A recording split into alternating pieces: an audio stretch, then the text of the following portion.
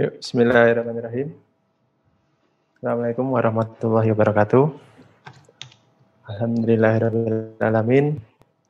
Mari kita panjatkan puji dan puji syukur pada kehadirat Allah Subhanahu wa taala sehingga hari ini kita dapat uh, melakukan bismillahirrahmanirrahim webinar Assalamualaikum warahmatullahi wabarakatuh. Tema dengan tema olahraga di era pandemi COVID-19. Hari ini untuk pembicara yaitu yang pertama adalah Dr. Salahuddin Ratomi, spesialis ortopedi, konsultan, sehingga beliau dan juga hari ini kita dapat kedua adalah melakukan Bismillahirrahmanirrahim. Wahyu Jatiko MSI Assalamualaikum warahmatullahi wabarakatuh. Dengan tema olahraga di era pandemi COVID-19. Hari ini untuk pembicara yaitu yang pertama adalah Dr. Salahuddin Ratomi, spesialis ortopedi, konsultan, sehingga beliau dan juga ini kita dapat dua adalah melakukan Bismillahirrahmanirrahim MSI untuk warahmatullahi wabarakatuh dengan tema olahraga di era pandemi COVID-19. Hari ini untuk pembicara yaitu yang pertama adalah Dr. Salahuddin Romi, spesialis ortopedi, konsultan, sehingga beliau dan juga ini kita dapat dua adalah melakukan Bismillahirrahmanirrahim MSI untuk dengan tema olahraga di era pandemi Hari ini untuk pembicara yaitu yang pertama adalah Dr. Salahuddin spesialis ortopedi, konsultan, sehingga beliau dan juga kita dapat adalah Wahyu MSI untuk dengan tema olahraga di era Hari ini untuk pembicara yang pertama adalah Dr. Salahuddin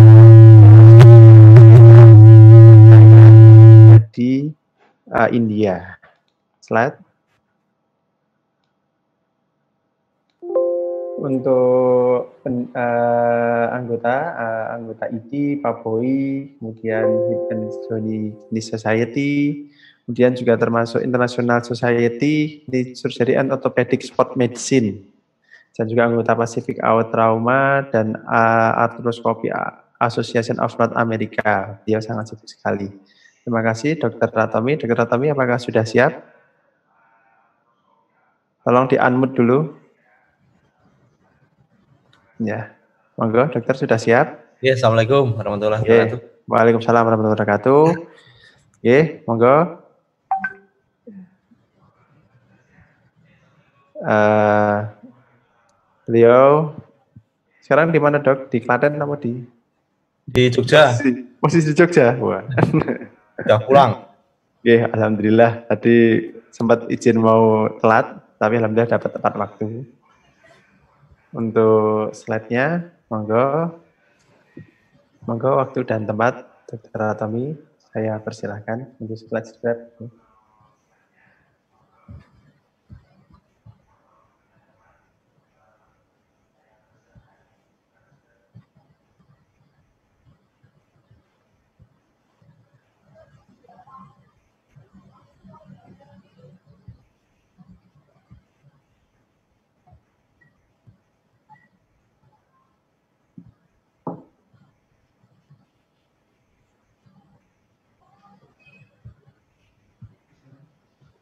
Ini sudah masuk belum ya? Sudah, sampun. Stay active in COVID pandemic. Monggo, Dr. Ratami, saya persilahkan. Oke. Assalamualaikum warahmatullahi wabarakatuh. Alhamdulillah, uh, saya dapat kesempatan untuk presentasi mengenai uh, aktif, tetap aktif di pandemi COVID ini. Slide ini dibuat bersama teman saya, Dr. Iwan Jen. Dr. Iwan Jen ini adalah putranya Prof. Mahfud MD. Beliau dulu uh, alumni kedokteran UGM, kemudian juga ngambil kedokteran olahraga di UI waktu saya ngambil ortopedi di UI. Kemudian sekarang beliau ngambil S3 di Belanda. Jadi ini saya buat bersama. Jadi dengan pada saat COVID-19 ini ada kebijakan physical distance, ada anjuran untuk tetap stay at home sehingga kita waktu luang semakin meningkat. Biasanya saya dokter tulang tuh pulangnya malam-malam sekarang sore udah sampai rumah alhamdulillah. Kemudian uh, kecenderungan physical inactivity yaitu banyak tiduran main laptop yaitu smartphone menonton TV akhirnya uh, tagihan listrik meningkat ya kemudian akhirnya bosan lapar ini sekarang online jajanan online malah meningkat. Nah, akhirnya intake kalori sendiri meningkat ya. Kita sadari ya kalau Ya, keseimbangan energi yang positif ini ya menyebabkan overweight atau obesitas. Jadi untung kita sebulan kemarin puasa, jadi tidak begitu overweight. Jadi dan juga kebugaran akhirnya menurun, jarang aktif, kurang gerak, peregangan peregangan berkurang, akhirnya akhirnya memacu spasm otot, keluhan seperti boyok sakit, kaku leher, pusing. Ya, khusus bagi seorang olahragawan itu performa atau di, terjadi di training, jadi performanya menurun. Gak ada latihan. Pasien-pasien saya yang olahragawan itu saya tanya gimana kamu latihan? Gak ada latihan, tempat latihan ditutup. Ya, saya terpaksa latihan mandiri ya. Tergantung orangnya. Kalau orangnya rajin ya bisa ini katanya ini sesuai dengan penelitian juga jadi penelitian di Amerika sejak sejak tanggal sekitar 10-11 Maret itu ternyata di sana diteliti gimana aktivitasnya. Aktivitasnya memang physical estimate itu menurun, turun sampai 40 sampai 50 persen. Yaitu semua terjadi di semua negara. Jadi semua itu di luar negeri itu apa aja diteliti, dipublish ya. Dan untuk physical eh, ini kayak gini physical activity aja dipublish bisa publish Nah, sebenarnya kita juga bisa karena kalau kita presentasikan butuh data. Seperti ini kita dapat datanya. Kalau tidak ada yang publish kita nggak, meskipun kita sebenarnya tahu itu menurun, tapi kan kalau nggak ada yang publish kan kita nggak bisa ambil untuk pustaka. Nah itu sebenarnya apa pun bisa kita tulis dan kita publish. Pada ada yang menulis cuma ini seperti ini aja, tapi bisa disitasi banyak ini. karena kita uh, kita meskipun cuma seperti ini kita bisa tahu oh ternyata sekitar 48 persen lah turun aktivitasnya. Lah, sebenarnya ada juga yang meneliti tentang orang banyakkan duduk. Orang banyakkan duduk itu kayak orang disamakan dengan merokok. Berarti ada yang meneliti angka kematian merokok itu berapa persen. Jadi angka kematian merokok berat itu bisa penelitian 2000 orang per tahun. Nah, dibandingkan dengan orang yang banyakkan duduk sekitar lebih dari 6 sampai 7 jam, ternyata angka kematiannya ya 5 persen dari merokok berat tadi sekitar 200-an, eh 10 persenan. Jadi banyakkan duduk juga, banyakkan duduk sendiri juga tidak baik ya. Jadi isu yang kita, isu kita kalau di dunia sport itu pertama gimana olahraga berhubungan dengan imunitas karena bagaimana juga pada pandemi ini gimana kita itu menjaga imun kita yang tetap ya kuat apalagi yang sering ke rumah sakit itu harapannya kita itu rumah sakit itu bagaimana juga zona merah. Tiap hari ke zona merah itu kita kayak ODP itu. Orang dalam pemantauan itu. Itu gimana caranya kita tetap imunitas terjaga baik. Kemudian isu kedua, olahraganya gimana? Indoor apa outdoor? Kemudian isu yang ketiga, olahraganya apa saat, saat physical distance seperti ini gimana cara olahraganya? Nanti akan dibahas berikutnya olahraga dan imunitas. Mungkin saya cuma menyinggung sedikit saja. Jadi sistem imun ini merupakan salah garis besar proteksi atau pertahanan tubuh. Bisa terbentuk dari darah putih, sumsum -sum tulang, limfoid, dari lonjak imus, limfa, tonsil.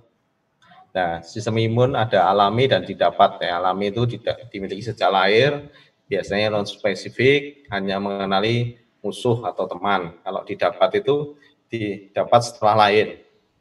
Dan sistem ini lebih kompleks dan banyak elemen dan seberapa luas dalam tubuh dan ter, ter, terbentuknya setelah terjadi suatu penyakit atau setelah mendapatkan vaksin.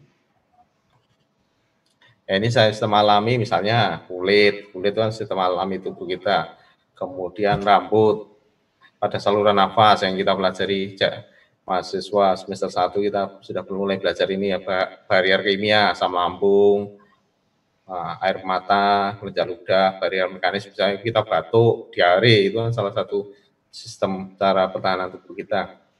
Kemudian sel darah putih, yang akan memfagositosis dan yang sel imun didapat ini sebagai antibodi protein yang dibentuk oleh tubuh kalau terpapar oleh antigen gunanya untuk menetralisir toksin, mencegah ikatan kuman dengan sel, mencegah gerakan mikroorganisme, meningkatkan reaksi radang.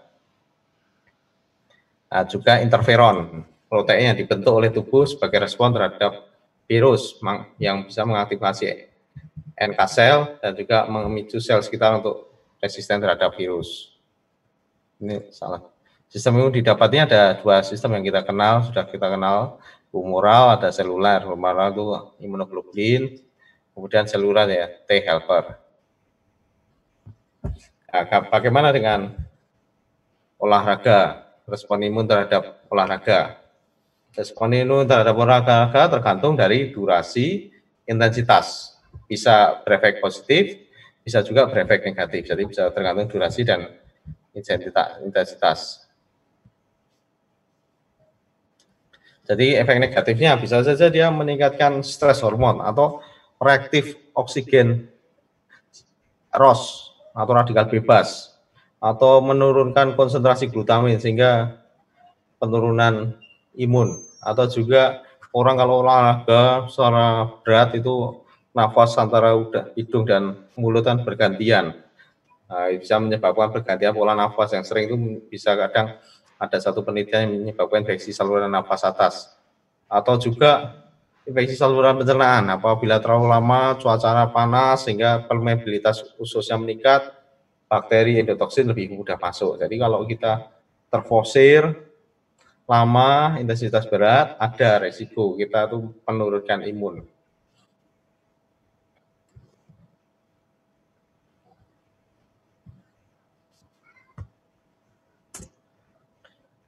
Nah ini ini ada suatu penelitian dari Nirman and Bishop namanya Open Window. Jadi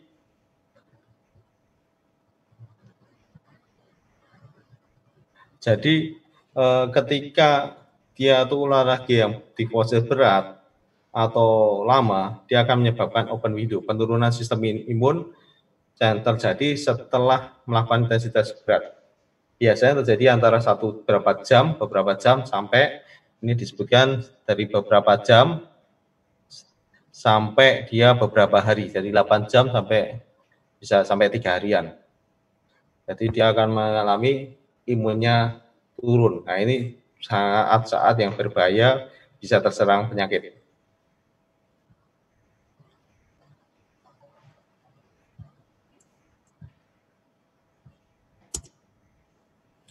Nah, padahal pada padahal pada uh, olahraga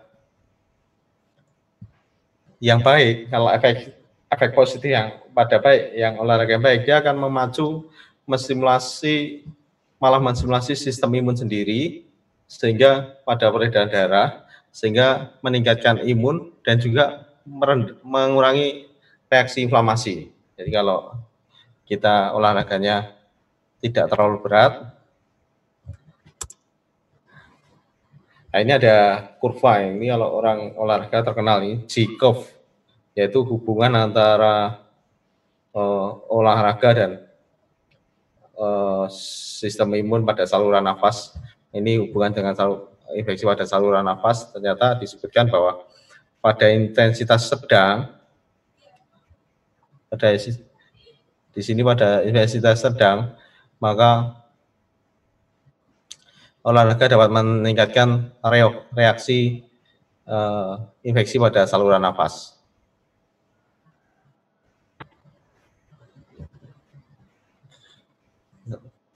Tapi kalau intensitasnya tinggi, maka infek, reaksi infeksi malah meningkat.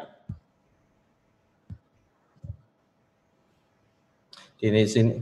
Kemudian bagaimana olahraganya? Pilihannya indoor apa outdoor. Nah, ada beberapa penelitian ternyata. Penelitian banyak penelitian vitamin D. Kita kita searching tuh banyak penelitian vitamin D dan penelitiannya memang banyak kan hampir sama.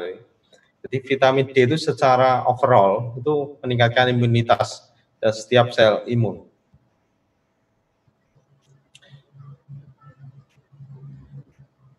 Jadi cahaya matahari mampu meningkatkan well-being dan melancarkan aliran darah. Namun meskipun demikian paparan sinar UV ini kalau tidak tepat waktunya ataupun durasinya tidak tepat ya bisa menurunkan imunitas malahan bisa menyebabkan kanker kulit. Tapi kalau dia pemberian uh, eh, UV yang vitamin D dari UV kalau kita uh, tepat durasi dan waktunya kita men, uh, sebagai meningkatkan imun. Jadi semua ada efek negatif dan efek positifnya. Ini ada beberapa penelitian dari Wuhan, Cina. Memang penelitian yang publis sekarang banyak kan dari Cina. Yang kita kenal kemarin, kemarin ada ribut yaitu panasnya pengen yang pagi apa yang siang itu saling ribut sendiri. Ada yang pagi, ada yang siang ada yang bilang sinar yang pagi, ada yang sinar yang siang. Kemudian yang pasti dari beberapa penelitian ini ada di, dua penelitian yang saya tampilkan ini menyebutkan bahwa suhu dan kelembapan yang relatif tinggi bermanfaat untuk menurunkan transmisi dan kematian. Jadi efek kematian dan juga transmisi. Nah, kalau kita WHO sebutkan bahwa sebenarnya uh, penurunan penurunan penularan COVID-19 ini via droplet. Yaitu droplet itu kan 5 sampai 10 mm. Tapi sebenarnya ada beberapa penelitian lain bahwa penularan ini bisa melalui mikro droplet. Jadi mikro droplet itu lebih kecil lagi.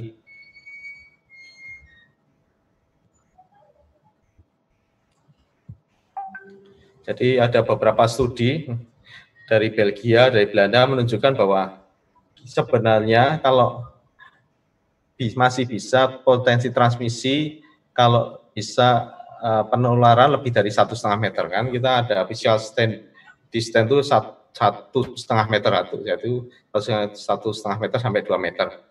Tapi ada kemungkinan potensi transmisi atau penularan pada saat berolahraga pada saat satu setengah meter ini beberapa penelitian. Jadi makanya dianjurkan untuk menjaga jarak jarak. Jadi kalau jogging itu jaraknya sekitar 4 sampai 5 meter karena masih bisa menurunkan uh, mikrodroplet. Kemudian kalau naik sepeda itu kalau kecepatannya rendah di bawah 20 km per jam, 15 km per jam itu bisa ya jaraknya 10 meter. Tapi ketika kecepatan tinggi harus berjarak 20 meter. Kalau enggak di bawah itu dia masih bisa menularkan uh, dari mikrodroplet tadi. Dan juga disarankan kalau kita olahraga sebaiknya tidak berada sejajar dengan orang lain. Jadi harusnya di samping atau bersilangan sehingga risiko penularannya lebih rendah. Jadi ini ada penelitian dari Broken, dari Belanda dan Belgia, penelitian bahwa jadi ini yang berwarna ini adalah mikrodropletnya. Jadi kalau dia lari itu sampai 4 sampai 5 meter di belakangnya itu masih bisa tertulari. Jadi dia sebaiknya lari itu uh, tidak sejajar ininya, ya, bersilangan dan agak ke, ke belakang, tidak di sampingnya.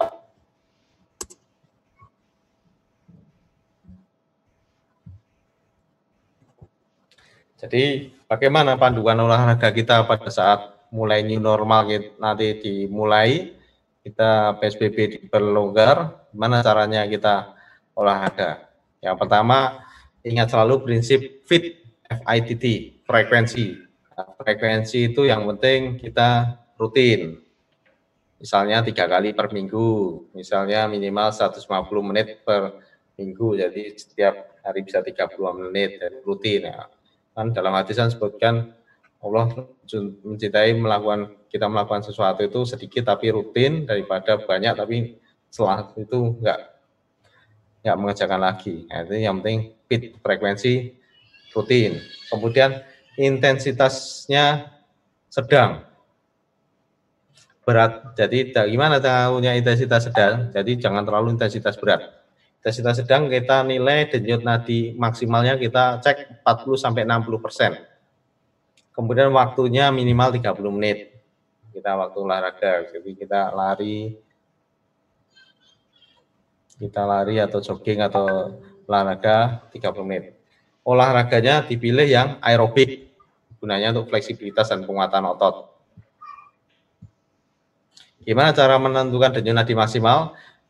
Gunakan lurus rumus DNM DNM yaitu 220 dikurangi usia. Jadi mama saya berusia 40 berarti denyut di maksimal adalah 180.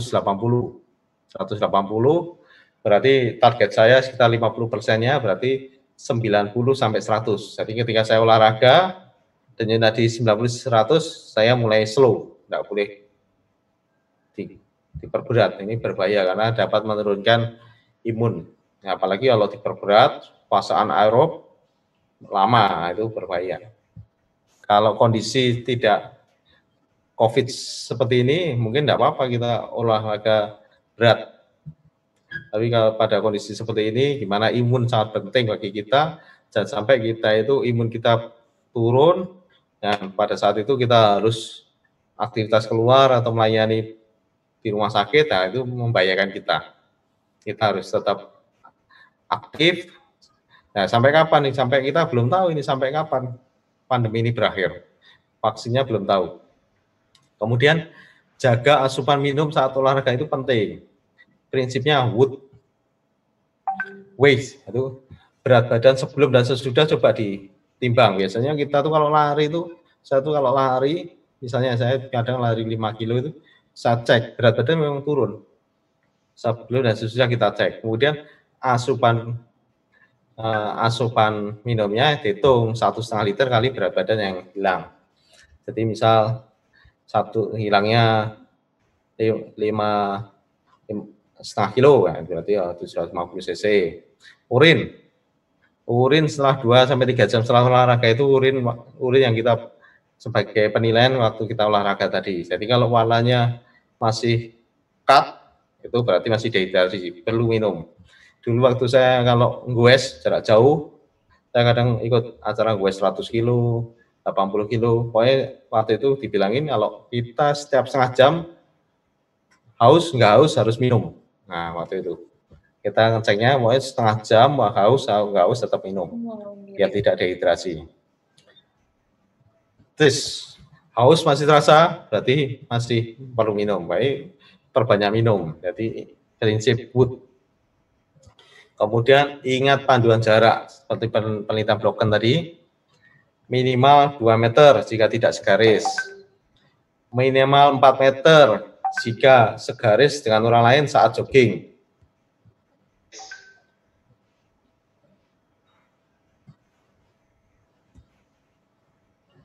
Jadi kalau tidak kalau jalan ya 2 meter, tidak segaris.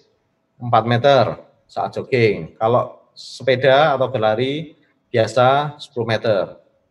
Tapi kalau cepat 20 meter dan usahakan untuk tidak segaris. Gunakan masker dan jaga higien tangan selalu ini. Jaga konsumsi nutrisi, menu seimbang. Vitamin C, kalsium dan vitamin D ini kita konsumsi. Kalau enggak ya kita minum vitamin yang multivitamin langsung itu setiap hari kita kita minum. Ini yang penting. Selama ini kita berdoa semoga selama pandemi ini tidak pernah dirawat. Kalau dirawat tuh repot hari. Tapi tidak pernah dirawat, tetap menjaga kondisi tubuh. Minum multivitamin, sediakan. Di multivitamin dijual bebas. Kita yang sudah ada vitamin C, kalsium, vitamin D jadi satu. Setiap hari minum satu tablet. Berjemur. Nah, itu jemur 30 sampai 60 menit pada saat jam 10 sampai jam 1 untuk sinar vitamin D. Hindari ya tadi panduannya, kemudian apa yang perlu dihindari? Berolahraga yang berlebihan dengan intensitas tinggi dan durasi lama. Ini ketika habis olahraga 3 jam sampai sekitar 8 hari, 3 jam sampai sekitar eh 3 jam sampai sekitar tiga harian itu imun turun.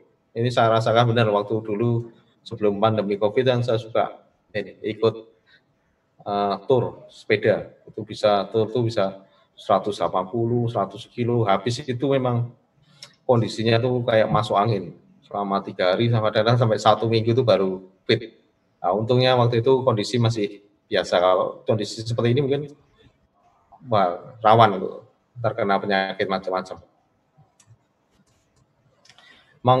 dilarang yang hindari lagi adalah dilarang menggunakan alat olahraga yang bergantian. Nah, ini berisiko tinggi. Jadi kita usahakan mandiri menggunakan jaket atau penutup tubuh yang berlebihan. Ini berisiko juga akan menghilangkan pak meningkatkan panas sehingga menyebabkan dehidrasi. Hindari duduk sepanjang hari. Saya ini killer sofa tadi. Jadi duduk setiap dua jam berdiri ya Jadi kita biasakan selama ini setiap dua jam kita berdiri peregangan jalan berapa menit baru duduk lagi. Jadi mengurangi mengurangi killer sofa tadi. Jadi sudah ada penelitiannya ternyata duduk terus menerus di atas 6 jam itu uh, efek tubuhnya uh, lebih buruk. Jadi sampai diteliti angka kematiannya tadi. Di itu apa aja diteliti eh, lagi hindari merokok. Itu kalau yang sudah terlanjur merokok ya kurangi merokok. Susah juga menghindari merokok. Yang terakhir berdoa selalu. Semoga kita tetap dihindarkan dari penyakit. Nah, salam olahraga. Ini saat saya mengikuti uh, West Tour de Prambanan. Ini waktu itu 180 km dari jam uh, setengah enam pagi sampai jam 5 sore. Nah ini tidak mungkin lagi dikerjakan, dilakukan pada saat pandemi COVID ini sudah tidak mungkin ya melakukan. Sekarang kalau sepedaan ya sepedaan linong-linong aja, keliling-keliling saja. Yang penting tadi dijaga fit. fit dan DNM, denyut nadi maksimal.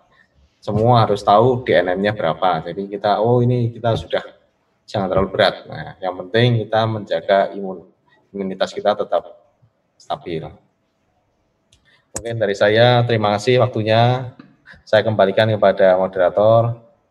Uh, Assalamualaikum warahmatullahi wabarakatuh. Waalaikumsalam warahmatullahi wabarakatuh.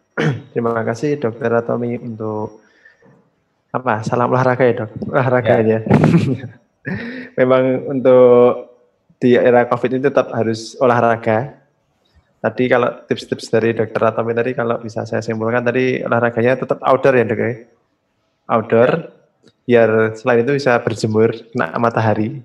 Lumayan untuk menambah vitamin D. Kemudian selain itu kalau memang olahraganya bareng-bareng ya harus tetap harus jaga jarak. Jangan sampai di paralel tapi kalau bisa ya agak sampingan agak menjauh. Karena tadi untuk menghindari mikrodroplet tadi. Kemudian asupan minum juga jangan lupa, kemudian pakai masker. Kalau sepedaan pakai masker juga pengap nggak dok? Bahaya.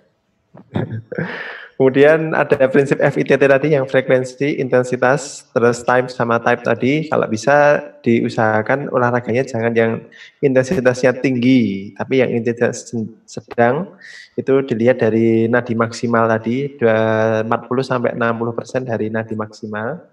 Tadi kalau dari rata-rata mencontohkan caranya dikurangi 220 dikurangi usia. Kalau usianya 40 tahun ya berarti nadi maksimalnya 200 eh, 100 berapa dok? 140 eh 160 eh 180 180 nanti maksimalnya terus nanti nanti diukur maksimal berarti 60 persen dari 180 berarti sekitar 120-an nanti maksimalnya itu. Ya kalau bisa ya daripada susah-susah menghitung nadi pakai lebih baik kan pakai jam tangan yang bisa untuk ngitung nadi gitu sudah banyak sekarang jam olahraga seperti itu.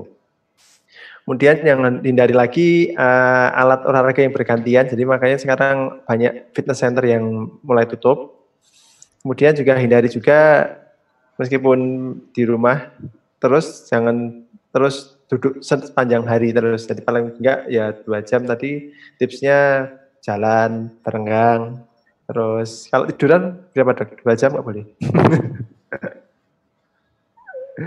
ya nanti kita uh, tanya jawab nanti bila silahkan nanti kalau tanya jawab uh, di bisa melalui fitur chat nanti saya akan membacakan untuk selanjutnya akan dilanjutkan untuk materi yang kedua Dokter Safari apakah sudah siap uh, tolong uh, Dokter Safari di unmute dulu Dokter Safari Beliau uh, sama Dr. Atami juga sama-sama pengajar di FK UMS, pengajar skill lab juga. Kemudian kalau dari Dr. Safari, uh, untuk CV-nya mohon ditampilkan.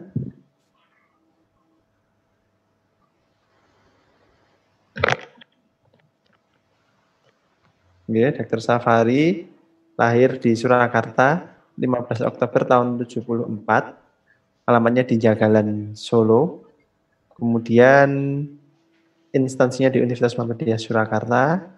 Kemudian dari pendidikan, pendidikan dari pendidikan S1 eh, dan profesi dokter, beliau lulusan dari Fakultas Kedokteran Universitas 11 Maret Surakarta, lulus tahun 2000, kemudian untuk pendidikan S2, beliau lulusan dari Universitas Diponegoro, jurusan imunolo, eh, minat imunologi dan penyakit tropis di Magister Ilmu Biomedik, lulus tahun 2016. Untuk organisasi, beliau aktif di International Society of Infectious Disease, International Society of Vaccine, International Society of Exercise and Immunology, kemudian beliau juga di ID, saya ingatkan kembali nanti ada tetap ada donasi. Monggo silahkan kalau um, donasi untuk yang terdampak COVID. Oke, Safari sudah siap? Iya, insya Allah. Iya, monggo bisa share screen.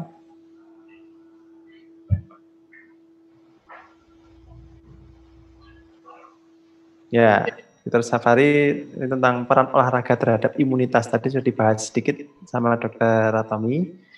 Monggo Dr. Safari, waktu dan tempat saya persilahkan. Ya, terima kasih atas waktu yang diberikan kepada kami. Nanti insya Allah yang sudah dibahas Dr. Ratomi nanti akan saya lewati saja ya, atau sedikit saja. Uh, ya. Baik, kita mulai dengan peran olahraga terhadap imunitas dalam mengatasi pandemi COVID-19.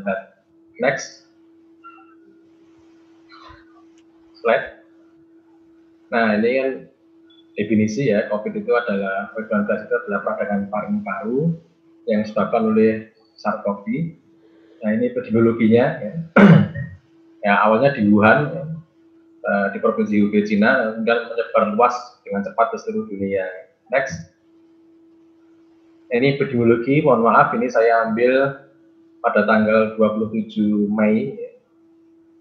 Uh, ini adalah di tanggal itu ya, di saat itu lebih dari 5 juta orang terkena seluruh dunia ya, dan lebih dari 300 ribu orang meninggal dunia. Ya. Sekarang mungkin lebih lebih banyak lagi ya. Next. Nah, ini untuk di Indonesia. Nah, ini untuk di Indonesia, kami ambil data yang sama, waktu itu 23 ribu, sekarang sudah 28 lebih ya. Nah, untuk di Jawa Tengah juga sama ya, Jawa Tengah juga 1000, 1000, 1000 lebih ya. Tapi yang jelas kurvanya itu nggak melandai, tidak turun tapi naik terus. Baik yang apa terinfeksi maupun yang meninggal. Yang sembuh juga naik, karena kalau yang terinfeksi banyak, yang sembuh juga banyak. Ya, next slide. Nah, ini adalah respon imun terhadap SARS-CoV-2. Ya. Intinya ini dulu sudah pernah dibahas ketika di webinar yang beberapa saat yang lalu. Intinya kalau SARS-CoV itu masuk dalam sel daya tahan tubuhnya, maka sel T, uh, sel makrofag tadi akan bisa memakan SARS-CoV-2. Ya. Kemudian disajikan kepada sel T helper, sel T helpernya akan merubah, berubah atau ber, uh, proliferasi dan berdiferensiasi menjadi sel T helper 1 kalau dia bagus ya. Kemudian dia akan sel T helper 1-nya menghasilkan interval gamma, menghasilkan makrofag dan sel T CD8. Ya, yang ini akan merusak atau menghilangkan virus. Namun, ya, kalau pada kondisi tertentu daya tahannya lemah atau ada disregulasi sistem imun, maka justru sistem uh, respon imun yang ditimbulkan itu berlebihan sehingga terjadi sitokin storm atau badai sitokin. Dan ini akan menyebabkan kerusakan jaringan dan menyebabkan gejala yang berat. Lanjut. Nah, ini yang pokok adalah kita bagi saja menjadi dua, yaitu stadium awal dan stadium yang lanjut berat. Ya.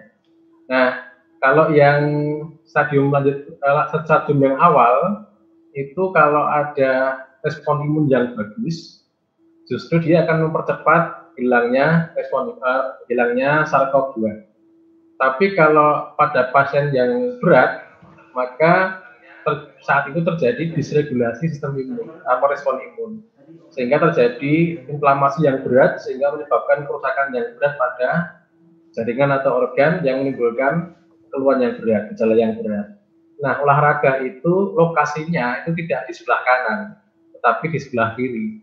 Jadi olahraga itu nanti diharapkan mengurangi risiko masuknya infeksi COVID-2 SARS-CoV-2 ini dan kalau sudah terinfeksi diharapkan nanti cepat berlalu SARS-CoV-2-nya itu mati oleh sistem imun kita.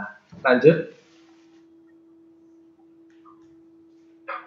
Nah, sampai saat ini terapi COVID-19 itu belum ada yang dinyatakan efektif dan aman. Gitu di mana pun ya belum ada yang uh, mengatakan bahwa efektif dan aman. Lanjut. Lanjut. Nah, vaksin juga begitu. Sampai sekarang masih dalam tahap trial. Di beberapa negara seperti Cina, Amerika sudah melakukan trial, belum selesai. Insya Allah minggu depan itu, kan depan itu Rusia juga mulai menyusul. Ya. Indonesia katanya sudah mulai apa uh, berlomba juga di vaksin ya, tapi walau alam beritanya masih belum uh, begitu gempar ya di Indonesia. Tapi vaksin itu yang jelas butuh waktu agak lama ya. Tidak mungkin dalam waktu dekat ini akan uh, muncul vaksin ya. Paling tidak tahun depan itu baru muncul vaksinnya. Lanjut, karena tidak ada obat yang bagus, tidak ada vaksin yang ada sampai sekarang ini belum ada, maka harapan satu-satunya adalah bagaimana caranya agar jangan kena SARS-CoV-2 tadi. Itu yang pertama. Yang kedua, kalau sudah kemasukan SARS-CoV-2 itu, ya gimana caranya agar sistem imun kita itu meningkat. Ya, kalau sistem imun kita itu meningkat, maka harapannya SARS-CoV-2 yang masuk tadi akan dimatikan oleh sistem imun kita. Nah, maka orang mulai mencari-cari cara secara ilmiah. Mereka menggunakan vitamin, gas elemen, ya, vitamin A, vitamin C, vitamin D, tapi tidak vitamin E ya, karena itu malah menimbulkan kerusakan. Trace elemen seperti seng, selenium, ya, mangan dan seterusnya. Nutraceutical seperti polifenol dan probiotik. Nah, hal-hal itu beberapa elemen itu ternyata secara ilmiah e, bisa meningkatkan respon imun. Nah, kalau dia bisa meningkatkan imunitas kita, maka diharapkan maka diharapkan bisa melawan SARS-CoV-2 sehingga kita tidak jatuh ke kondisi COVID-19. Nah, lanjut, bagaimana dengan uh, olahraga? Apakah olahraga itu bisa meningkatkan respon imun kita? Ya, tadi kan sudah dibahas sedikit uh, apa, di depan ya. Lanjut. Nah, sebelum kita ber, berbicara lebih lanjut tentang olahraga apakah bisa meningkatkan respon imun dan menghilangkan SARS-CoV-2, maka kita perlu definisi olahraga tadi ya. Secara umum, ya, baik dari kamus besar bahasa Indonesia maupun dari Median Webster dikatakan bahwa intinya sama. Olahraga itu adalah gerak badan atau gerak tubuh yang bertujuan untuk menguatkan dan menyehatkan tubuh. Itu cara bahasa. Lanjut, dari sisi istilah, maka perlu dibedakan antara aktivitas fisik dengan olahraga. Kalau aktivitas fisik itu gerakan badan yang diakibatkan oleh kontraksi otot skelet yang mengakibatkan pengeluaran energi di atas kondisi basal. Nah, bedanya dengan olahraga, kalau olahraga itu salah satu bagian atau salah satu bentuk dari aktivitas fisik, tapi yang terencana, terstruktur, berulang dan dilakukan untuk meningkatkan derajat kesehatan atau kebugaran. Memang sengaja dilakukan untuk itu. Nah, kalau aktivitas fisik belum tentu untuk uh, untuk tujuan ini. Sehingga dapat disimpulkan bahwa meskipun setiap olahraga adalah aktivitas fisik, tapi tidak semua aktivitas fisik adalah olahraga. Lanjut. Nah, ini adalah manfaat olahraga. Ini adalah banyak sekali ya olahraga itu bermanfaat untuk baik untuk anak-anak, untuk remaja, dewasa maupun orang tua. Intinya pokoknya olahraga itu menyehatkan badan, awet muda ya, seperti yang sering dibahas Dr. Yusuf itu ya. Awet muda dan insya Allah panjang umur gitu. Lanjut. Nah, termasuk di dalamnya adalah manfaat olahraga meningkatkan imunitas ini didapat dari data dari saat pandemi influenza. Ketika terjadi pandemi influenza itu, ternyata dengan perlakuan atau intervensi olahraga ringan hingga moderat, bukan yang berat, ya. Kalau yang berat tadi disampaikan oleh Dr. Antoni kan akan merugikan. Ya.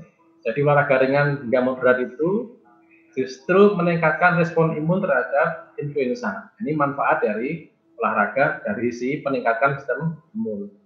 Lanjut, di samping itu, ya, olahraga ternyata juga menurunkan risiko terinfeksi influenza dan juga meningkatkan respon imun saat kita divaksinasi dengan vaksin influenza atau vaksin pneumonia.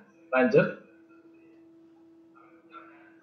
Nah, ini adalah skema, yaitu kalau ada antigen masuk dalam tubuh kita, maka antigen itu akan dikenali, diproses, dan disajikan oleh sel APC kepada sel T.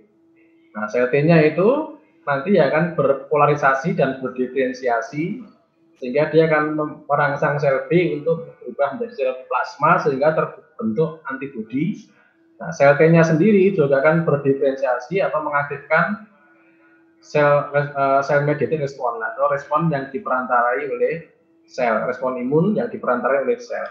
Nah, proses ini ternyata ditingkatkan oleh adanya olahraga. Lanjut, mungkin muncul pertanyaan bagaimana cara olahraga itu mengenai imunitas. Ini tadi sama persis gambarnya. Ya. Jadi intinya bahwa olahraga meningkatkan imunitas itu karena adanya mobilisasi dari sel sel-sel imun sehingga meningkatkan imunosurveillance terhadap patogen dan pembentukan berbagai mediator yang mengurangi inflamasi. Lanjut. Lanjut. Nah, ini beberapa sel yang berubah kita lewati saja nanti kita bahas masih kita bahas ulang satu-satu. Lanjut. Nah, bagaimanakah sel sel-sel imun itu bisa uh, terjadi mobilisasi ya. Terjadi peningkatan sel-sel imun ya. Terjadinya adalah begini. Jadi ketika olahraga itu detak jantung kita meningkat. Ketika detak jantung meningkat, maka cardiac outputnya juga meningkat Nah, sehingga terjadi peningkatan share stress ya. Shear stress ya, shear stress. Sehingga sel-sel imun yang menempel di pembuluh darah atau yang disebut dengan marginating pool itu, dia akan terlepas dari pembuluh darah sehingga ikut aliran darah, ikut sirkulasi, berubah menjadi circulating pool. Dari, jadi dari marginating pool berubah ke circulating pool. Nah, itu yang menyebabkan terjadi peningkatan peningkatan jumlah sel-sel imun, sel-sel darah. Nah, pe, pelepasan sel-sel imun dari pembuluh darah itu juga dipengaruhi oleh katekolamin, seperti epinefrin ya. Nah, olahraga itu kan akan meningkatkan serabut saraf simpatis. Serabut saraf simpatisnya kan menghasilkan katekolamin nanti ya, menginduksi terbentuknya katekolamin. Nah, katekolamin itu ketika dia diproduksi, maka dia itu akan merubah uh, intercellular adhesive molekul dari sel-sel leukosit sehingga dia lebih mudah untuk terlepas dari dinding pembuluh darah ikut aliran darah. Nah, itu yang pertama. Yang kedua, olahraga itu kan termasuk eustress, uh, stres yang ringan ya sehingga dia juga akan mengaktifkan HPA hipotalamus pituitary adrenal axis sehingga nanti hasil akhirnya adalah dibentuknya kortisol oleh kortek adrenal kortek anak ginjal nah kortisol ini ternyata dia mempunyai efek meningkatkan pelepasan sel-sel imun yang diproduksi di dalam unsur tulang untuk masuk ke dalam pembuluh darah jadi nanti setiap pembahasan yang terjadi peningkatan sel-sel imun di dalam darah itu terjadi karena dua hal ini. Yang pertama perubahan marginating pool ke circulating pool dan yang kedua adalah e, dilepaskannya sel-sel leukosit dari susun tulang ke pembuluh darah. Lanjut, Mas.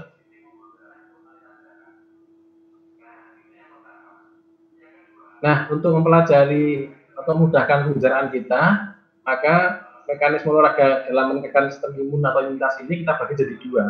Pengaruh olahraga terhadap innate immunity yang tadi disebut oleh Dr. Atomi sebagai imunitas yang kita bawa sejak lahir dan adaptive immunity atau yang didapat. Lanjut. Nah, ini secara umum olahraga itu bisa memperbaiki innate immunity atau imunitas bawaan. Ya, dengan cara apa? Ternyata olahraga itu menimbulkan stres oksidatif yang ringan pembentukan head shock protein, katekolamin, kortisol ya, IGF-1 dan sehingga dia akan merangsang terjadinya sel trafficking tadi sudah dijelaskan juga akan menimbulkan uh, ekspres, apa, merubah ekspresi dari toll-like reseptor termasuk patogen recognition receptor ya dan juga, sehingga dia akan meningkatkan fungsi efektor dari sel-sel imun dalam hal ini adalah uh, pembunuhan terhadap mikroba atau patogen ekspresi sitokin dan pemrosesan dan penyajian dari antigen yang masuk. Lanjut. Nah, ini adalah olahraga dan unit immunity yang kita bahas sel NK. Pada pasien dengan COVID-19 itu terjadi limfopenia. Ya, terjadi limfopenia, artinya kadar atau jumlah sel limfosit di dalam darah itu berkurang.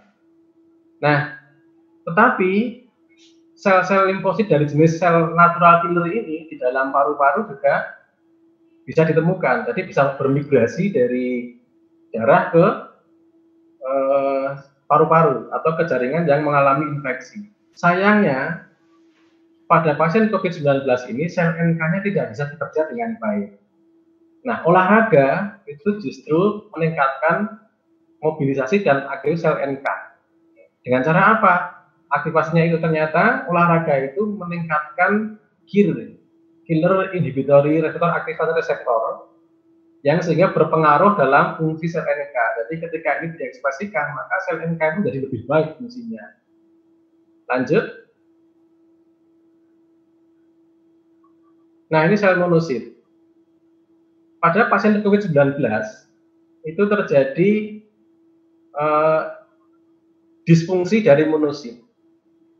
Nah, justru olahraga itu meningkatkan jumlah monosit dua tipe 2 dan tipe 3, tapi mengurangi jumlah monosit tipe 1. Kenapa berkurang? Kalau meningkat tadi sudah dijelaskan ya.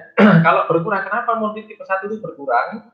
Karena monositnya itu berpindah dari pembuluh darah menuju ke jaringan. Nah, sehingga monosit tipe satunya berkurang jumlahnya. Nah, olahraga itu di samping meningkatkan jumlah monosit, dia juga meningkatkan ekspresi CD80 pada monosit.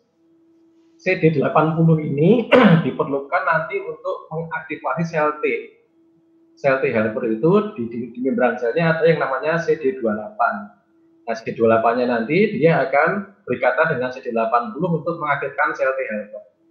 Nah, olahraga juga mengurangi ekspresi TLR2 dan kadar TNF alpha untuk monosit yang ada di dalam pembuluh darah, bukan monosit yang ada di jaringan. Lanjut. Monosit itu ketika masuk ke dalam jaringan, dia akan berubah menjadi sel makrofag. Pada pada pasien COVID-19 itu ada dua golongan makrofag di dalam jaringan yang terinfeksi. Yang pertama adalah makrofag yang terinfeksi oleh SARS-CoV-2. Jadi SARS-CoV-2 itu tidak hanya menginfeksi epitel saluran nafas, tapi dia juga menginfeksi uh, sel makrofag. Nah, sel makrofag yang terinfeksi ini dia menjadi tidak berfungsi. Dia tidak bisa berfungsi dengan baik. Nah, olahraga itu meningkatkan aktivitas fagositik dari makrofag yang sebanyak 2 sampai 4 kali. Ini yang mana? Ini adalah makrofag yang jenis kedua bukan makrofag yang terinfeksi. Golongan yang kedua apa? Golongan makrofag yang memang karena adanya infeksi atau inflamasi di jaringan yang terinfeksi tadi, makrofagnya akan monositnya masuk ke dalam jaringan, di jaringan dia berubah menjadi makrofag, ketika berubah jadi makrofag dia ternyata tidak terinfeksi, justru malah mencaplok SARS-CoV-2, memakan SARS-CoV-2. Nah, sel makrofag yang seperti ini justru karena olahraga aktivitas uh, fagositiknya meningkat sebanyak 2,4 kali. Di samping itu, olahraga juga meningkatkan ekspresi gen penyandi inducible nitrik oksid sintase, sehingga meningkatkan produksi nitrik oksid sebanyak 9,6 kali, hampir 10 kali lipat. Nah, nitrik oksid ini penting untuk penanganan COVID-19. Karena apa? Nitrik oksid ini nanti akan membuat nitrosilasi dari asam aminosistein yang ada di enzim yang membantu membentuk virus dan juga uh, struktur virusnya itu kan juga mengandung asam amino ya. Nukleokapsidnya itu kan ada asam aminonya sistein dan dia juga dinitrosilasi ditempeli oleh nitrik oksid ini sehingga dia tidak bisa bereplikasi dan dia inaktif. Lanjut. Nah, sel dendritik. Pada pasien COVID-19 terjadi penurunan jumlah sel dendritik baik di dalam darah maupun di dalam paru-paru. Nah, olahraga itu meningkatkan jumlah sel dendritik dalam sirkulasi. Di samping itu juga olahraga itu meningkatkan ekspresi MHC2 dan produksi interleukin 12. Nanti ada lagi pengaruh olahraga eh, dalam meningkatkan fungsi dari sel dendritik dengan cara membentuk ATP. Lanjut. Nah, olahraga dan ini dalam hal ini adalah sel nitrofil. Ternyata pada pasien COVID-19 itu terjadi peningkatan sel neutrofil di dalam paru-paru dan di dalam darah. Nah, sel, uh, olahraga itu bisa meningkatkan aktivitas dari sel neutrofil. Nah, saat ini ada laporan bahwa sel neutrofil yang masuk ke dalam jaringan paru-paru itu bisa uh, membuat ketika dia terpapar oleh SARS-CoV-2 atau terpapar oleh sitokin-sitokin yang ada di jaringan yang mengalami infeksi, maka neutrofil itu bisa menjadi mati karena bunuh diri, ya, yang disebut dengan netosis. Nah, netosis ini eh, menyebabkan pembunuhan dari sel-sel yang terinfeksi oleh SARS-CoV-2 dan menghalangi penyebaran SARS-CoV-2 karena di netosis itu ada jaring-jaring, ada jala-jala dan jala-jalanya itu yang akan mencegah keluarnya uh, SARS-CoV-2. Lanjut.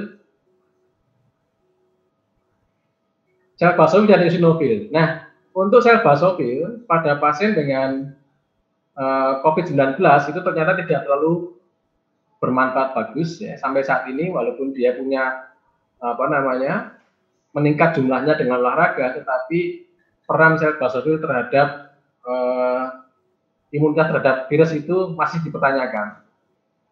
Nah, yang jelas malah kalau olahraganya berlebihan, maka hipoksia yang terjadi pada saat olahraga itu akan meningkatkan sekresi histamin oleh basofil. Yang sering menimbulkan sesak napas ketika uh, olahraga pada pasien asma. Ya. Nah, bagaimana dengan sel eosinofil? Sel eosinofil dengan olahraga itu juga akan meningkat jumlahnya.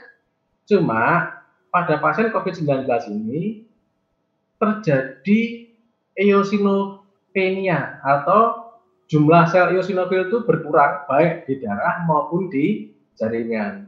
Nanti kalau sudah mendekati sembuh, justru baru sel eosinofilnya normal kembali. Jadi untuk fungsi sel eosinofil dalam COVID-19 ini tidak terlalu penting. Lanjut. Nah, ini sel T. Nah, sel T itu kalau pada COVID-19 kan jumlahnya menurun dan aktivitasnya berkurang. Justru olahraga sebaliknya, dia akan meningkatkan jumlah sel T dan juga meningkatkan uh, fungsi dari sel T itu serta memperbaiki rasio antara sel T efektor dengan sel T regulator. Lanjut. Lanjut. Nah, sel T juga ketika olahraga, maka olahraga itu akan mempertahankan panjang telomer. Jadi sel T itu kan dipakai berulang-ulang, dia kan beranak pinak. Ya, seperti sel T memori itu kan dia beranak pinak. Ya, sel T helper yang mengenali antigen itu dia kan pertama kali terjadi clonal, expansion, jadi membelah diri secara banyak dulu. Nah sebelum dia ber e, terpolarisasi. Nah untuk membelah diri banyak itu kan dia membutuhkan panjang telomer yang bagus. Kalau telomernya memendek, maka dia akan mati mengalami apoptosis. Nah, sedangkan olahraga itu akan mempertahankan panjang telomer ini. Sehingga dengan panjang telomer yang dipertahankan, dia bisa membelah diri dalam waktu yang lama dan berulang-ulang. Lanjut.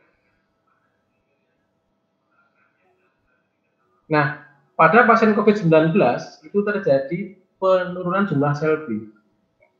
Nah, olahraga sebaliknya justru meningkatkan jumlah sel T, dia juga meningkatkan kadar imunoglobulin G.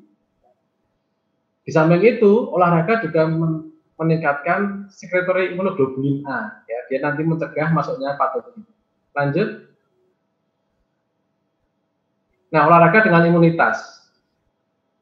Uh, ternyata pada pasien-pasien yang berat atau pasien dengan minum obat atau penuaan atau uh, olahraga yang berlebihan itu terjadi disbiosis. Jadi bakteri jahat yang di usus itu lebih banyak daripada bakteri yang baik. Olahraga memperbaiki itu, sehingga akhirnya uh, olahraga itu memperbaiki uh, rasio antara sel baik, bakteri baik dengan bakteri jahat, sehingga akan memperbaiki sistem imun. Sistem imun yang baik akan mempengaruhi uh, imunitas di mukosa uh, saluran cerna. Lanjut. Nah, ini adalah beberapa hasil atau produk dari bakteri yang baik. baterai yang baik itu akan menghasilkan atau memproduksi short chain fatty acid, ya. asetat, propionat, butirat. Ya, ini juga akan memodulasi sistem imun. Lanjut,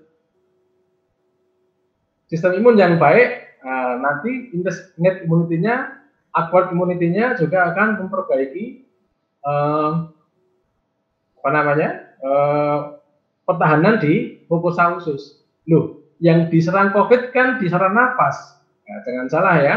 Jadi COVID-19 atau SARS-CoV-2 ini bisa menginfeksi usus, gitu ya. Nah, kalau mukus bariernya itu tebal, maka SARS-CoV-nya bisa jadi tidak masuk ke dalam menempel di usus. Di samping itu ada yang namanya gut lung axis atau aksis usus ke paru-paru. Nah, sekretari imunoglobulin A yang ada yang dihasilkan oleh mukosa usus itu juga bisa ditemukan di saluran nafas. Lanjut. Kurang lima menit ya dok ya? Iya, salah. Nah, olahraga dan sitokin. Olahraga dan sitokin itu ternyata ini ya, IL1, IL6, sekretorit NFA reseptor ya. Lanjut. Lanjut. Nah, IL6 itu akan memproduksi atau merangsang pembentukan interleukin 1 reseptor alfa. Sehingga dia menghambat transduksi sinyal dari interleukin 1 beta. Juga menghambat pembentukan tolak 4 ya. dan juga nanti dia akan menghasilkan antioksidan. Nah, ini akan menurunkan inflamasi. Sedangkan pada COVID-19 itu terjadi inflamasi yang berat. Lanjut. Nah, ini sama dengan adanya mikroRNA menurunkan inflamasi. Lanjut. Nah, bagaimana dengan orang tua? perhatikan yang merah-merah pada orang tua itu sel T naifnya itu yang masih uh, belum mengenali antigen dia lebih sedikit. Nah, ini berisiko kalau ada virus yang baru atau patogen yang baru seperti SARS-CoV-2 ini. Timusnya juga mengalami involusi sehingga yang dihasilkan sel leukosit yang dididik di sel timus itu juga berkurang. Di samping itu panjang telomera juga memendek sehingga rawan terjadinya apoptosis sehingga orang tua itu akan memudahkan terjadinya COVID-19. Lanjut. Lanjut. Nah, ini sama, lanjut saja. Intinya olahraga itu meningkatkan eh, meningkatkan sistem imun. Ini sama, itu lanjut. Nah, ini sama juga tadi sudah disampaikan oleh Dr. Atomi, yang penting olahraga yang moderat, jangan yang berat. Kalau yang berat nanti justru merugikan. Lanjut. Ini tadi sudah ya, J curve. Lanjut. Lanjut. Nah, olahraga tidak akan mencegah kita terkena COVID, tapi pada pasien yang ringan ini bisa segera menyembuhkan. Lanjut.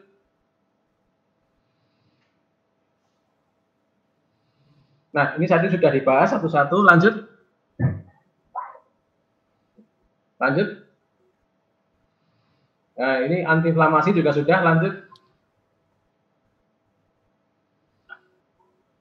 Nah, ya, pada pasien dengan COVID itu terjadi hambatan dari angiotensin 17.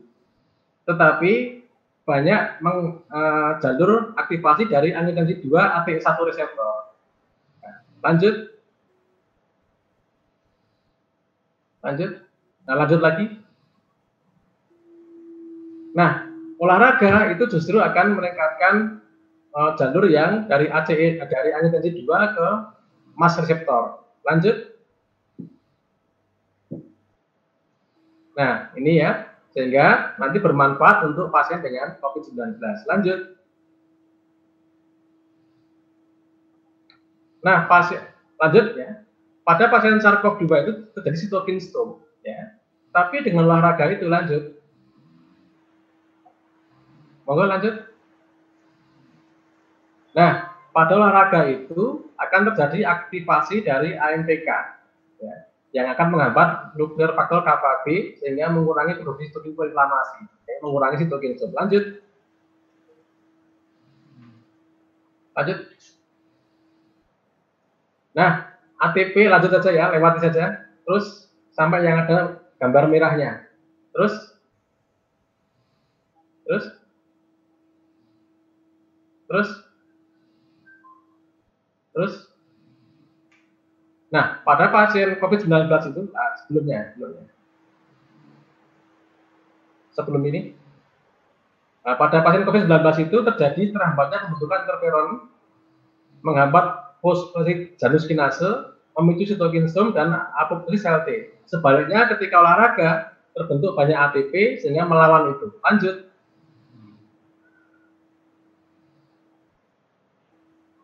Olahraga itu bikin kita seneng ya. Nah kalau kita seneng maka stres kronik itu dihindari.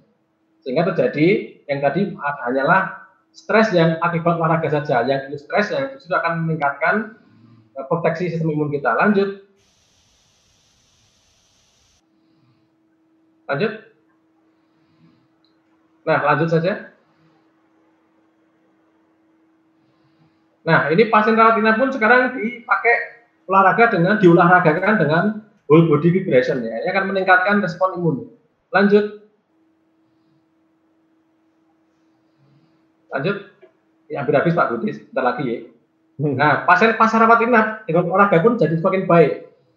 Belum ini, Mas. Belum ini, Mas. Halo, sebelum ini. Sebelumnya, sebelumnya. Nah, pasien rawat inap dengan olahraga justru semakin baik. Ya. Nah, lanjut, lanjut, lanjut. Karena olahraga itu baik, maka orang berlomba-lomba untuk olahraga. Ya, cara tradisional juga ada. Ya.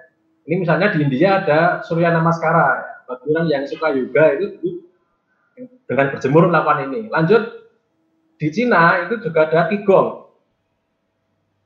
Lanjut. Lanjut, lanjut.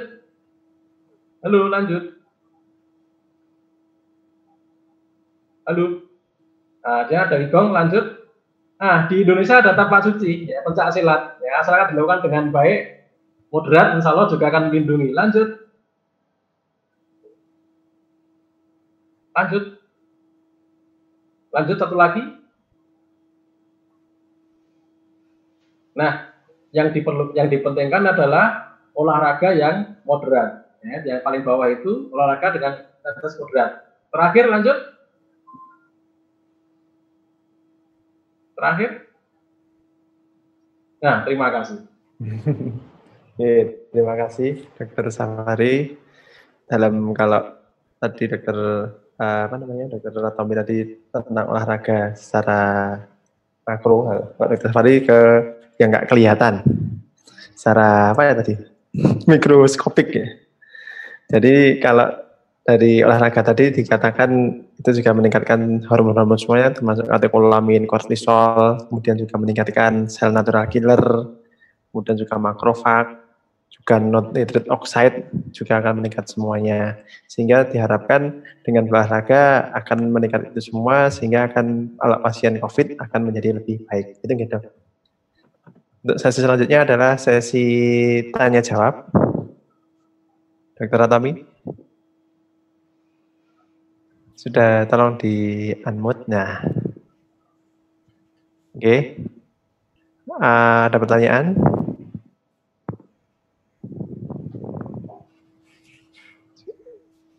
Oke okay, untuk Dr. Ratomi. Perkenalkan, nama saya Thomas, dari Thomas, mahasiswa kedokteran, Fakultas Kedokteran UMS, angkatan 2018, bertanya dok, jika pada masa pandemi ini olahraga di malam hari itu baik tidak gitu dok ya? Kalau nggak di pandemi juga baik nggak dok olahraga di malam hari ini bu? Monggo dok. Ya, jadi prinsip prinsip-prinsip yang saya presentasikan terakhir tadi yang penting olahraga itu memenuhi unsur fit. Gitu nadi, terus intake air yang baik. Jadi malam hari, siang hari sebenarnya tidak ada masalah. Yang penting dia kalau pandemi ini yang penting durasi, intensitasnya sedang. Kemudian kalau malam hari kan paling kita ini tidak ada sinar matahari. Jadi uh, untuk uh, sinar UV untuk vitamin D-nya berkurang, bisa kita ganti dengan intake vitamin. Jadi ya kita bisa aja karena kita kesibukan misalnya malam hari. Dan paling baik lagi kalau bisa kita operasi uh, olahraganya soliter sendiri aja, enggak usah bareng-bareng. Ya, gitu aja. Ya, jadi olahraga pagi, siang, malam tidak masalah. Yang penting nanti ada prinsipnya FITT. Kalau dalam masa pandemi ini jaga jarak, ya, okay? Jaga jarak. Kemudian yang penting ya, moderate. Terus istiqomah ya, dok. Ya, betul. Istiqomah ya susah. Kadang kita semangat lari 5 kilo, semangat pas kita lari ya 5 kilo semangat terus cita-cita besok lari lagi ya, besok lagi mau gerak aja males ya. Kan? Ya, sepatunya jadi, jadi masih bagus terus ya. Kalau bisa punya grup gitu. Kalau saya ada grup sepeda, ada grup lari, jadi ini menjaga ini, menjaga semangat kita. Kayak, jangan sampai kita kendor. Jadi kalau orang lain posting olahraga, jadi kita semangat wah pengen posting olahraga juga nih. Ya, jadi yeah. Tips yang bagus. Monggo, pertanyaan yang kedua, apakah ada lagi?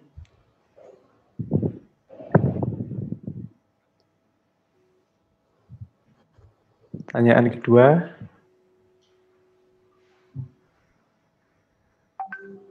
Hmm, tadi ada yang oh, oh ini itu banyak hmm. penelitiannya itu. Nanti kalau bisa di searching di internet banyak itu penelitiannya Blocken uh, tentang itu banyak. Jadi dia kalau bisa langsung dibaca aja langsung di jurnalnya. Jadi dia bikin seperti ruangan, terus dikasih udara, terus ada orang, ya, terus ada window window tunneling wind ya, itu udara tunneling terus dia kayak dilihat pakai video atau kamera uh, larinya sampai berapa meter tadi jatuh mikro dropletnya tadi. Jadi kalau mau searching banyak itu uh, tentang jurnal-jurnal itu uh, tentang penelitian mereka. Ya, jadi kalau tadi dokter Tami mengatakan kalau ini kalau posisi di belakang itu kan tadi kan kena angin ya dok ya. Yeah. Mikro mikro dropletnya itu kalau uh, saya lihat di video itu uh, tentang orang bersin itu kan mikro dropletnya kan di mana-mana itu kan. Apalagi kalau orang yang berlari itu kan pasti kan kena angin, anginnya ke belakang dan dari belakangnya kemudian bisa uh, menulari ke yang lainnya. Itu dok ya kira-kira. Yeah. Tanya yang selanjutnya, apakah ada?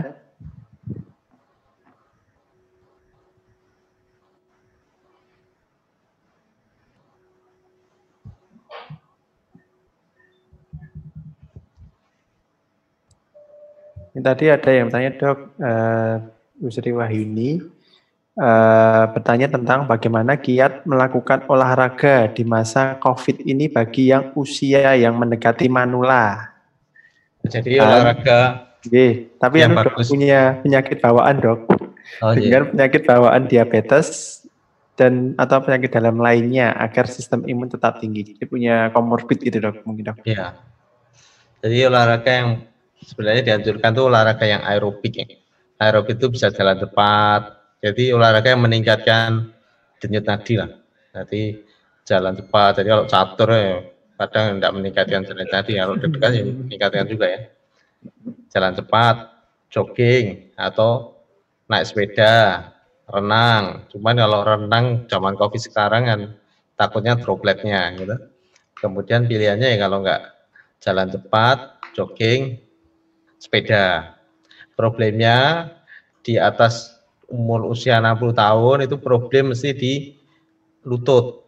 Jadi berat badan kita itu menumpuk di lutut. Jadi kalau kita lari, jalan cepat itu mesti lututnya yang kena karena berat badan ditumpuk di lutut. Jadi untuk menghindari penyakit osteoartritis tadi ya salah satu kita ganti ke sepeda. Sepeda itu berat badannya ke saddle. Jadi kita tetap dapat aerobiknya, gerakannya dan jadi kalau usia di atas 50 60 kalau dia BMI-nya normal ya enggak apa-apa dia lari, jogging. Tapi kalau memang BMI-nya berat di atas 25 ya kita pilih atau lebih aman ya sepeda jadi untuk eman-eman untuk lututnya. Ya. Oke, jadi kalau olahraga bisa itu ya aerobik. Kalau orang tua manula mungkin juga tadi bisa jalan cepat mungkin habis subuhan bisa jalan-jalan kan waktu subuh eh, waktu subuh biasanya kan sepi masihan bisa jalan jalan tapi jalan tapi cepat. Jadi bukan jalan bukan lari. Di antara jalan dan lari jalan tapi cepat. Kemudian tadi juga boleh pakai sepeda. Sepeda sekarang banyak yang bisa sepeda lipat, sepeda santai, penting bersepeda gitu. Kemudian kalau berenang ya kalau mau berenang gitu, kalau punya kolam sendiri nggak apa-apa gitu. Mungkin dari dompet. Kemudian uh, ada pertanyaan lain untuk Dokter Safari, apakah ada pertanyaan lain?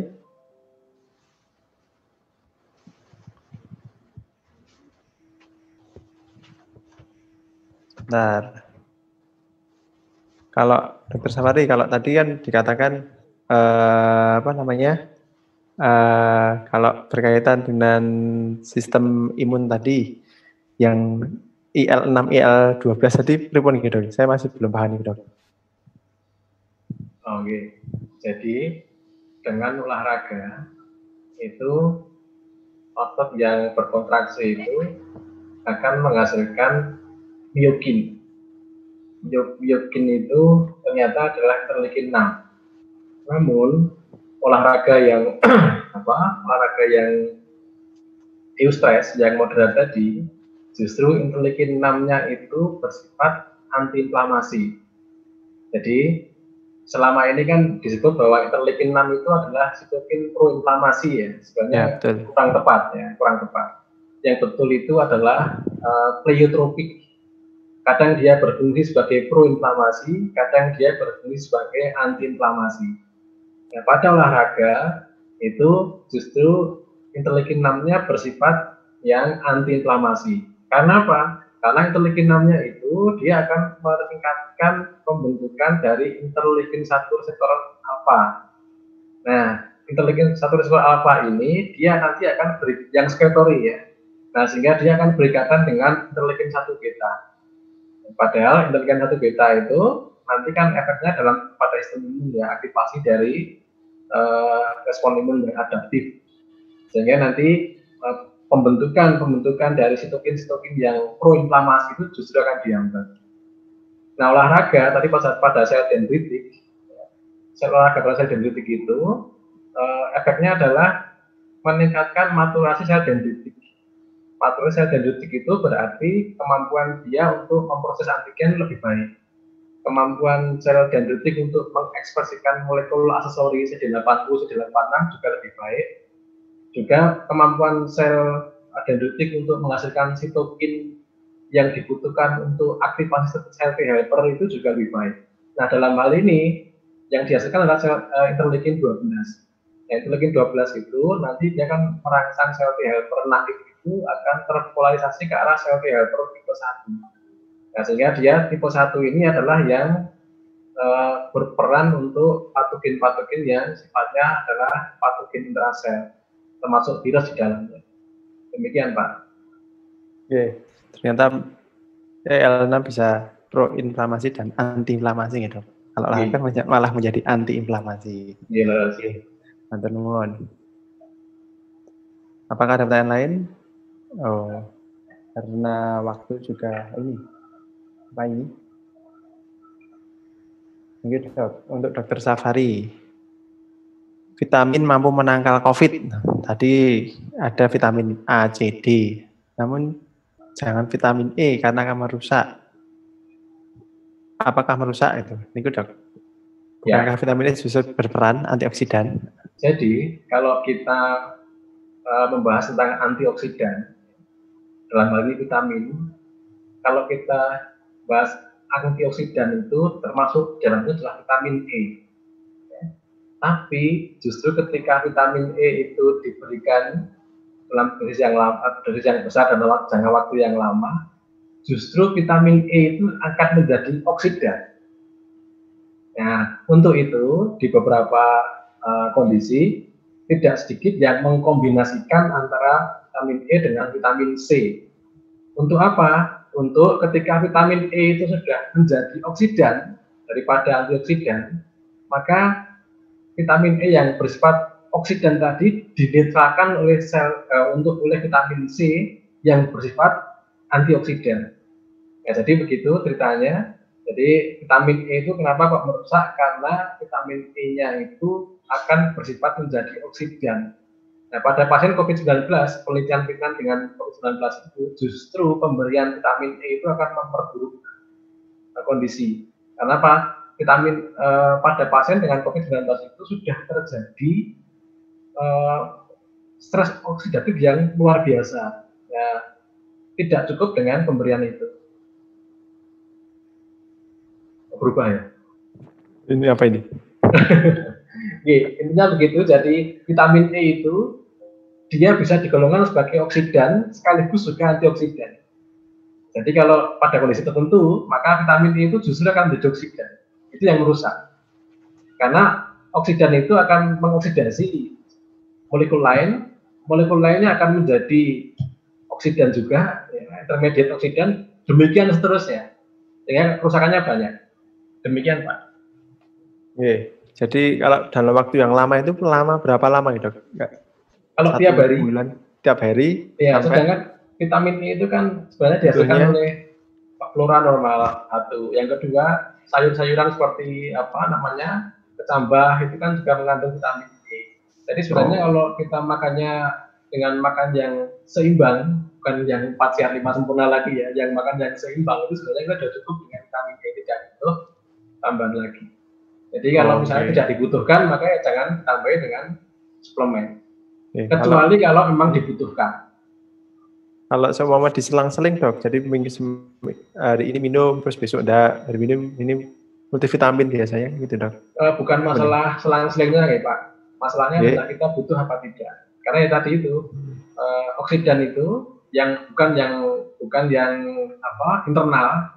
Kalau misalnya uh, apa namanya superoksida disputase atau katalase itu kan antioksidan yang sifatnya enzimatik dari dalam tubuh kita ya. Yeah. Nah itu tidak masalah. Tapi kalau yang sifatnya dari luar antioksidan antioksidannya itu dikhawatirkan nanti justru dia itu akan berubah jadi oksidan. Karena ketika yeah. dia itu sebagai antioksidan, dia kan menerima molekul elektron dari uh, oksidan. Dia berubah jadi oksidan. Demikian seterusnya sampai nanti di apa dihancur apa oksidannya itu akan di uh, antioksidan oleh yang internal. Nah, kalau butuhnya itu kapan dok? Butuhnya misalnya kalau apa namanya defisiensi misalnya orang dengan KIP ya kekurangan kalori energi protein. Itu justru kalau energi yang makronya saja kekurangan pasti mikronya pasti kekurangan. Hmm. itu bisa di, di, bisa dipastikan itu. Nanti kalau seumpama makanan sudah seimbang, harusnya sudah tidak butuh lagi, nggih. Tidak. Uh, Kecuali kalau resiko tinggi ya, misalnya UDP gitu ya, ya. Wah. atau PDP itu ya. Misalnya, oh, baru kalau baru sakit boleh nggak dok? Ah ya, tapi ya tadi jangan vitamin E, karena hasil penelitiannya itu malah justru merusak, meningkatkan okay. inflamasi. Iya, yeah, matur nuwun ilmunya, matur nuwun Dokter Ratomi, matur nuwun Dokter Safari.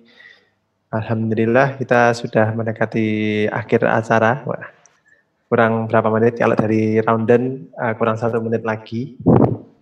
Jadi nanti ini ada diingatkan oleh panitia untuk e-sertifikat nanti silahkan mengisi di sini di form Google itu uh, nanti mungkin juga akan di share di chat di supaya bisa diklik. Nah, jadi chat sudah ada. Nanti maksimal ditunggu sampai jam 18.00. Ini untuk menerbitkan sertifikat, jadi tolong namanya juga yang benar. Okay? Kemudian nanti insya Allah akan dibagikan uh, e-sertifikatnya melalui email. Kemudian jangan lupa nanti melakukan donasi juga ke Fakultas Kedokteran Universitas Muhammadiyah Surakarta. Ini untuk alamat donasinya sebagai berikut. Bank Jateng A6013.869 atas nama Fakultas Kedokteran UMS. Oke, matur nuwun Dr. Safari, Dr. Atomi, semoga berman, uh, mendapat balasan yang lebih baik dari Allah Subhanahu wa taala. Akhir kalam, marilah kita tutup dengan bacaan hamdalah. Alhamdulillah hirabil alamin dan doa kafaratul majelis. Subhanakallahumma wa bihamdika asyhadu alla ilaha anta astaghfiruka wa atubu ilaih. Uh, kesalahan datang dari saya dan doa benar datangnya dari Allah. Assalamualaikum warahmatullahi wabarakatuh. Terima kasih. Assalamualaikum warahmatullahi wabarakatuh. Iya, Waalaikumsalam.